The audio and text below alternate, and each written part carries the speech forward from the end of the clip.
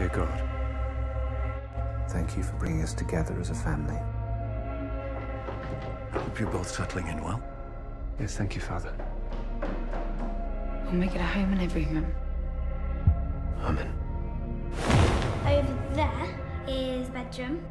That is the living room. And this is the dining room. What's this room? You're not to go there. You're forbidden.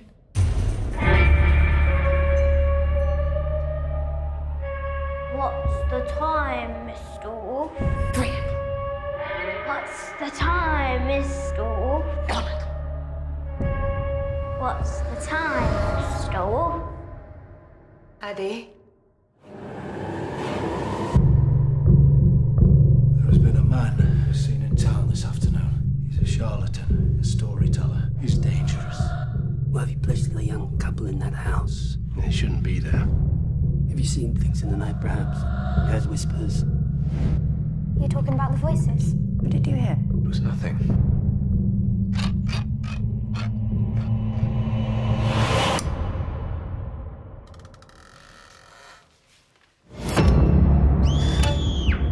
They did unspeakable things in that house.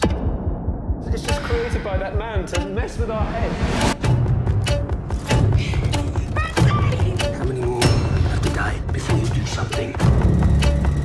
For the sake of your daughter.